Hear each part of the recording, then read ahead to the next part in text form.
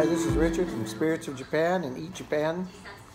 So we're in uh, my little local ramen house tonight, having a little bit of, uh, of course, Japanese sake, and we are going to uh, uh order some gyoza and some um, chahan, so which is fried rice.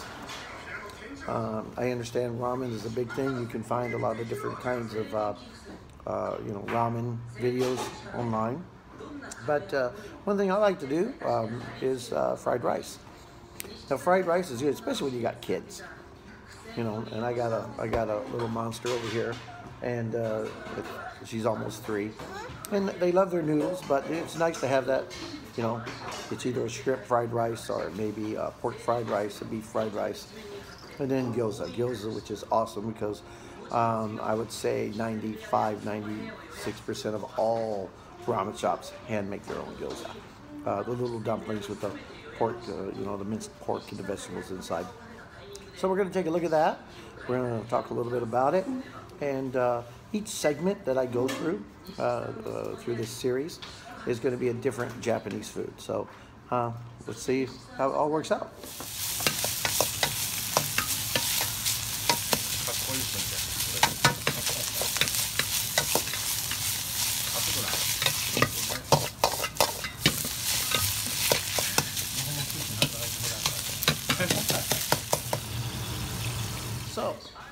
We got our chahan. We've got our um, soup. Usually get a little soup with it. And then you get um, what's called a, a rayu. It's uh, half soy sauce and a, a little bit of a, a spice called rayu. And then you always have a little pepper on the side. And what the rayu is for is for your gyoza. So if you bite into one of these babies right now, it's going to be like super hot. So we're going to set those aside. We're going to enjoy our um, our chahan first, and then when this is cooled down, then we'll try this. So let's see.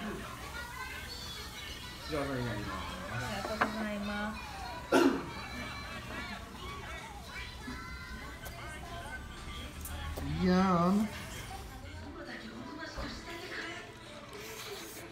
Mmm, mmm. Yeah, that's, that's great. Look at that. Yum. There you, go. you put all your gills in your rayu.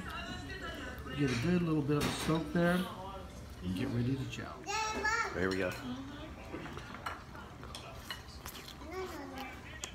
Mm. What's important about your gyoza? One side has to be crunchy. Mm. The other side's soft.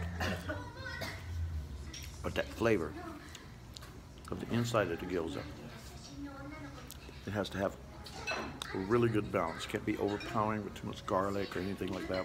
Because it has got to have a really good balance. Crunchiness. You don't want to leave it in the rayu you know, a little spice and soy sauce mixed there too long because that then overpowers the flavor of the gyoza. So you're just gonna dip, wait like a couple seconds, bam, pop it in your mouth. Gyoza didn't really get introduced to Japan until like the late 1930s, early 1940s, before World War II. And the reason for that is when Japan invaded China Chinese were already making these dumplings. They took the idea, brought it back, and as Japanese Japanese did what Japanese do the best, they they take something and make it better. And so that that's uh, pretty much the history of gyoza.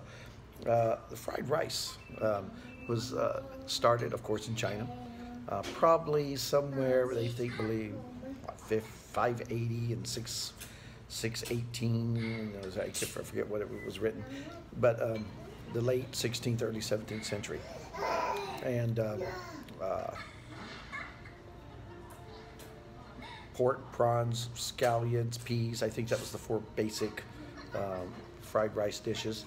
A lot of uh, fried rice dishes in Japan today uh, are basically uh, you get ebi chahan, which is your your uh, fried shrimp rice, um, and some ebi chahan is pretty much pork, but um, when you get yasai chahan, yasai which is all, just all vegetables, So, um, like pretty much a lot of things in Japan, this was uh, you know, originally Chinese dishes that were brought over and improved. Um, not to be rude to anybody, but they always say if you want to eat really good Chinese food, uh, come to Japan.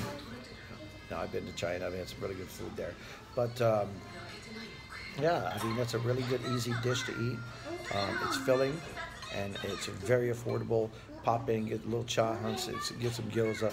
It'll be prepared in eight or nine minutes. You'll eat it in eight or nine minutes, and you're out the door. So it's um, it's something that a lot of uh, uh, people eat for lunch just to hurry up and, and get something, fill them up for the day. Uh, ramen's great. Ramen's great. Um, but uh, you know, three hours from now, you're gonna be hungry again. Uh, you know, or two hours from now. But uh, you know, chahan will sit there in your stomach for three or four hours, and uh, you'll get a, a, a, longer benefit from it. Uh, so, well, there we are, our first uh, episode, which is uh, and chahan. And as you see, it's gone. All right. Here's my little monster over there. Ayana, say hello. Hi. she had ramen today. So uh, we'll see you at the next episode, and thank you for watching.